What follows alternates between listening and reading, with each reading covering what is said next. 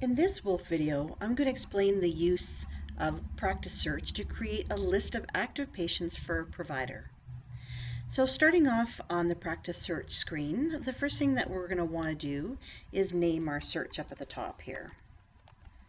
So we're going to call this Panel List McCaffrey. And you can make as many of these for your physicians as you need, one for each physician if you like. Click off at the top Search All Patients. Sometimes this is configured in clinics to be defaulted this way, but just ensure that it is clicked. We're going to leave this area alone because we want everyone to be included. We don't want to define anybody or exclude anybody from this, uh, from the demographics area at all. We are not going to be pulling up anybody who is deceased on this list, and we are only looking for active patients only. So patients who are left practice or who are actually uh, have a status that say inactive would not be included in this list. So the first filter that we want to add is under demographics, and that will be primary MD. And we're going to select Dr. McCaffrey as this is the list that we're wanting to get is for her. And right up at the top here, you'll want to select search button.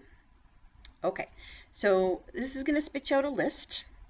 And a couple things to notice is at the very bottom, you'll see there are 434 patients on this particular list. That means in this EMR, these are the people who are um, assigned to Dr. McCaffrey and have them as their primary MD. Now, these, these columns up at the top are sortable, just like they would be in an Excel spreadsheet, okay? You'll notice that everything here is alphabetical. So you can sort, sort by by gender if you wish. They can put all the males and females together if you wanted to. However, the more useful ones is age, for example. So if you just click on the column at the top, you'll see that it will sort it in ascending order and it will start off with an age of any, well, obviously like maybe babies, something around those ages, all the way up to in people in their hundreds. And where this is uh, sort of useful is that if you look at this and say, oh, this patient's age is zero, so maybe that's an age we should maybe add to their demographic screen and, and find out what that is.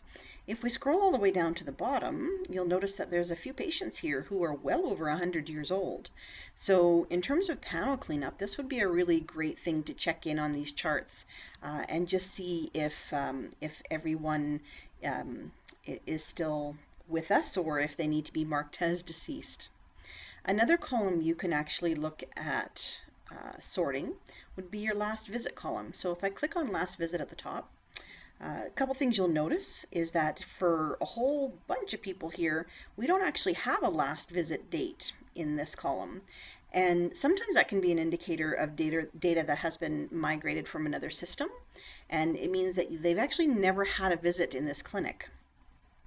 So this might be patients on this particular list that could be possibly inactivated, uh, depending on how long it's been since you've had this clinic. If you've been there five years, then you know these people haven't seen you in greater than five years. They may need to be inactivated.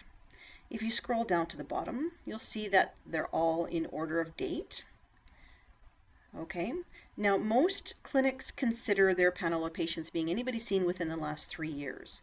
And so uh, what you can see here is you have some people here from 2008, 2009.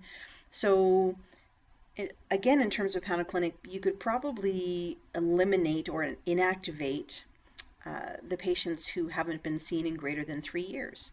And so these are patients you can go into their chart and you can actually mark them off as being inactive or left practice. Okay, if you wanted to do that, you can manage the list right from here. You don't have to print it out.